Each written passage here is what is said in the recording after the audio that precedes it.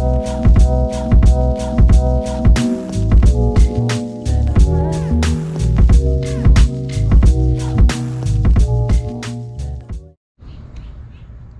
going on guys? Today we're gonna be fishing the backyard. It's been a very very long time since I made a video back here, but look at the waters, they're calm. So yeah, we're gonna um, we're gonna get in we're gonna get into this video. I'm gonna be using a tandem rig and I'm gonna be using the Outlaw paddle tail with that blue wave tackle um, tandem rig. So y'all stay tuned. Let's get into this video. Tight lines. Okay, so before I actually get into the kayak, I like to make a couple casts here. My favorite spot.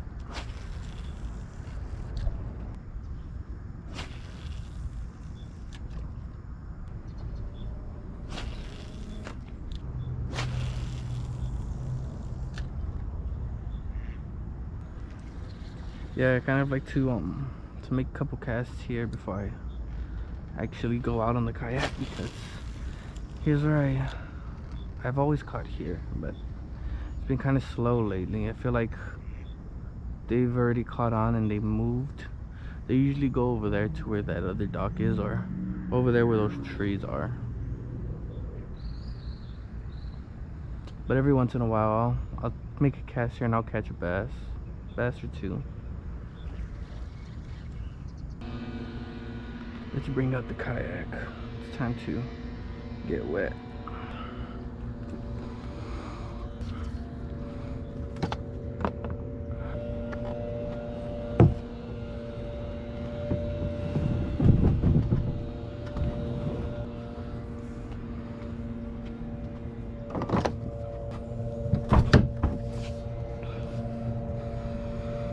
Okay. Imagine having to do that with the hoodoo. I got the hoodoo in here once to put to put it back up was a nightmare. Now don't get me wrong. If I could, I'd launch the hoodoo from here every single time. But I can't. So until I actually build like a ramp or something, little decent ramp where I can just slide it off. It's gonna be the field and stream for now guys.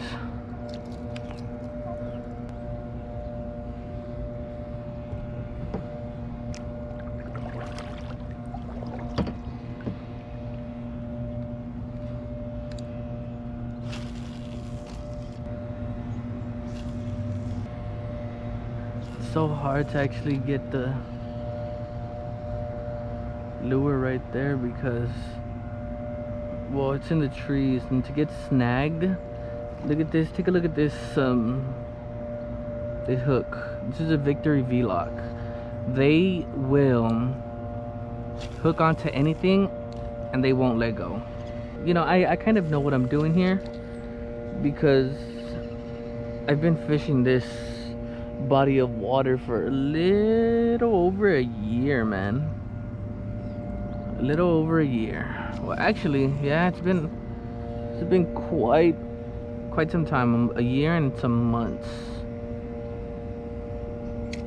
So I kind of know where the the snags are. Lost hundreds and hundreds of dollars of lures in here. I even lost this setup. I just I just got it back a couple days ago and it's weird how it happened because I put I put bait on it and I left it outside. And I went inside to go to go do some stuff. When I came back outside the rod was gone. Now after getting in the kayak coming out here and I was um making some casts and I hooked onto the green line but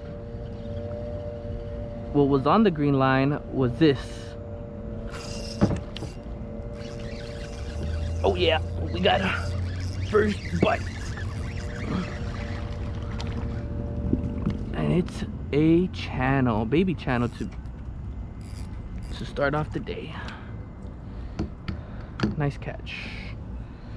but not what we're looking for. Nice channel. Yeah, so I'm gonna insert the clip here. All right, guys, so um, I lost my fishing rod in the morning. I came out fishing with my Outlaw fishing lure with my other rod. I snagged my line. Unfortunately, the line to the rod was popped, but this guy's the reason for that. Huge blue cat, guys. Huge. He's a big boy. I think it's only right that, you know, he took my rod, so I gotta take, I gotta take him for dinner. What do y'all think? Let me know. And that is what was on the end of my line. That's what took my rod in. So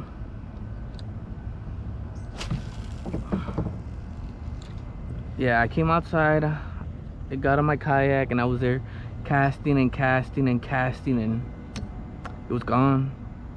Then um about three days ago from today, I was throwing my cast net and I was trying to catch bait. I was, I was gonna fish for gar back here. And lo and behold I'm pulling up something that has some weight to it and I'm like oh okay I got a got a decent decent size probably a tilapia or cichlid who knows? Bring it out. It's my this setup. Sitting the way it is and I'm like oh my gosh there is no freaking way that made my day actually actually made my week I got my setup back and nothing was wrong with it. It was in the water. And I kid you not, guys. I kid you not. This Sedona was sitting in the water for a little over two weeks. So I was surprised to get it back and it still be working. Obviously, I opened it up. I oiled it down and washed it. But over two weeks in this water and it was like new. Like, I mean, that like it, was never in the water now these bass are really uh, picky sometimes so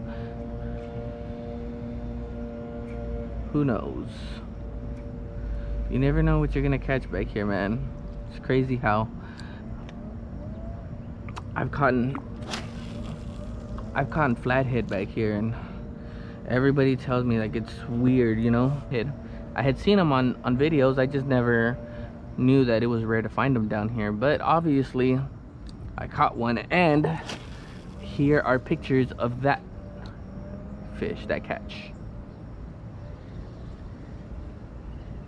Okay guys so so far we had those that channel cat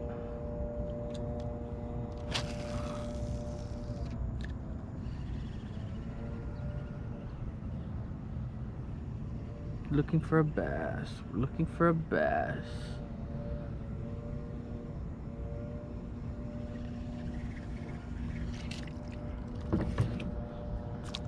I've caught a few big ones here. A Few big ones. Uh, matter of fact, I'm gonna show y'all just how big I've caught them here before. Check this out. Now, it's crazy because those over there where that dock is that's where i that's where i caught them both actually. Not in the same day i wish but um, i did catch those there. I caught a few over there by my house like this was before i even had a kayak. I broke my pb on on the uh, the bank. I know if ooh that was probably like a bluegill or something. I fish this almost every single day.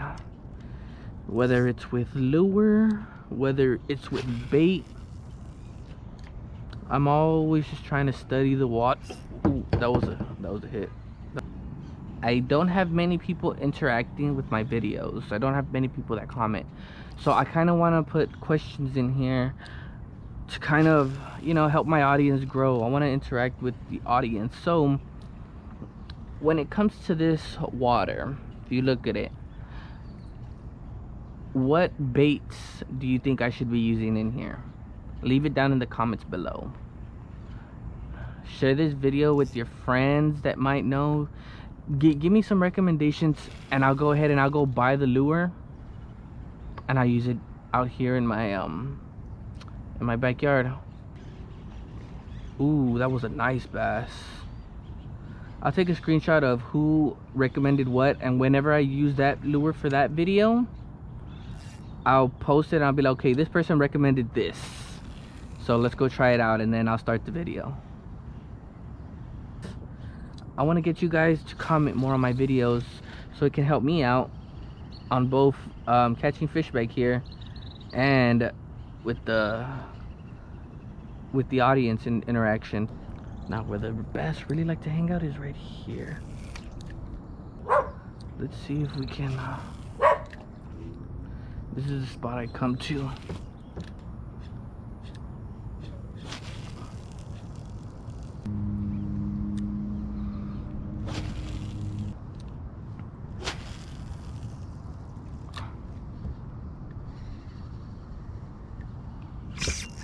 Oh yeah.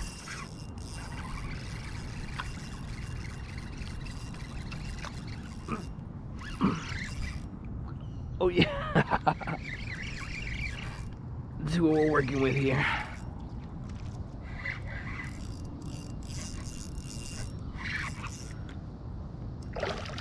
What? No way.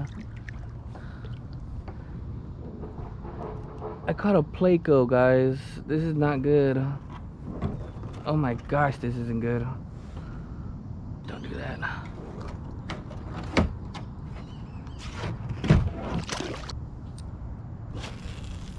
I thought that was a big bass.